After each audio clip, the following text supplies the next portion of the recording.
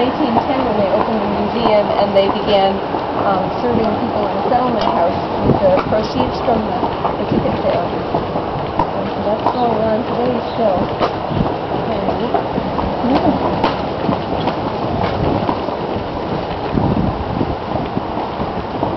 We've been waiting for you for a couple of hours. You know, everyone's wanting to know how connected that right, was. I noticed Great that. advertising. Discount. I'll take off five dollars for your, your suggestion. just kidding, honey. I'm just I kidding. know, but, um, I noticed that you. point. You have a I noticed that you you have a sense of humor, so Someone comes along with um, children, and I often give my first ride for free or really, really, you know, low if there's kids, like a single dad with kids or something, it's just you have to be seen going around with happy people. Right, right. That's awesome. But I didn't get any kids today. I got you. oh my gosh. we got you some attention. Yeah, yeah. I used to work many days a week with uh, several different horses, and um, the money just wasn't adding up. I couldn't make enough to support the horses, and uh, a lot of people are excited when they see the parents go by now because they don't see me all that often. Right. Very cool. It's nice to know.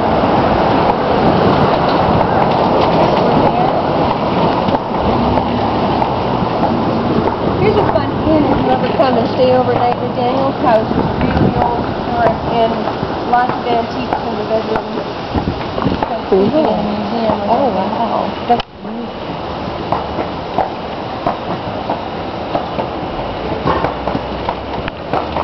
But that's kind of cool. That's very cool. And take in a little bit of film.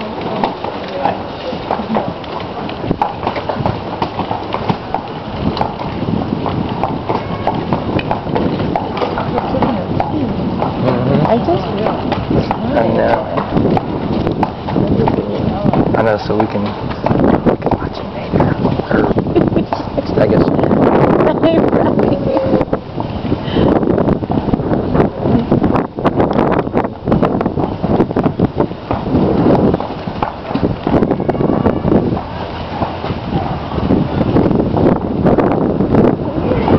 Be of a fancy house for a merchant in the early 1800s. They have a really beautiful spiral staircase that the center, and it's uh, blocky shaded, called the Federal style. The little narrow windows on the top are uh, um, main feature of that kind of house. And they have this little temple kind of thing around the front door. It's called a portico. And those are all inspired by Greek architecture they actually were beginning to um, unearth the ruins in Pompeii, and they saw that style of house, and it inspired a whole new kind of fad. The ideas about democracy were um, um, taken from Greek literature as they wrote the Constitution, and the architecture kind of got into the act too. Hey. Oh my God! I never saw a baby wearing headphones. Did you see this little baby? I did. I don't know what was up with that. I don't know. Them in. Whatever keeps them quiet. The common goes right back to the beginning of the settlement. That was a tradition that the pilgrims brought from southeast England, um, having a town green that everybody shared um, for grazing of the flock. And uh, later on it was used also for maneuvers. Um, a year, every able-bodied young man was required to show up with his gun and practice um, for the militia. That's the um, beginnings of the National Guard system.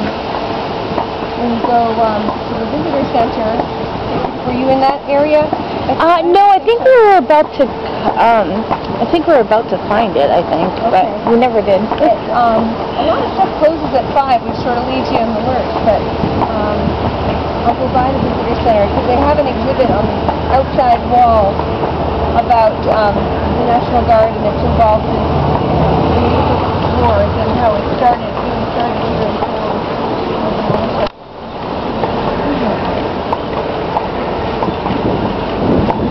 Minutemen, you know? Right.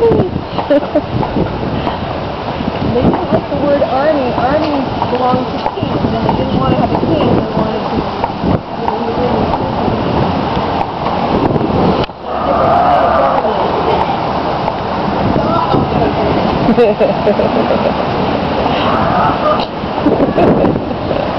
Dorks.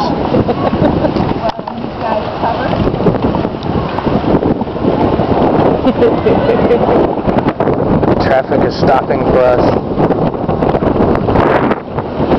I love that. Isn't that awesome?